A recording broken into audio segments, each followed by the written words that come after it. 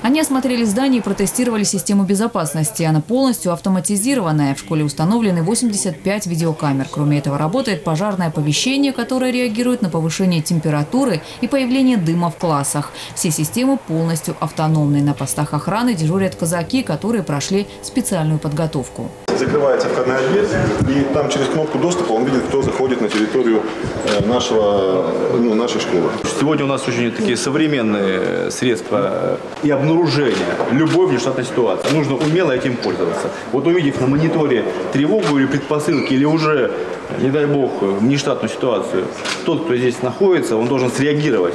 И при том э, среагировать правильно, оперативно, отдать правильные команды и передать эту информацию быстро или Росгвардии, или тем, кто сегодня обеспечивает, э, в том числе и пожарную безопасность. Безопасность не только учебных заведений, но и пассажирских перевозок в Краснодарском крае Вениамин Кондратьев обсудил сегодня на заседании антитеррористической комиссии и оперативного штаба, которое прошло в Туапсе.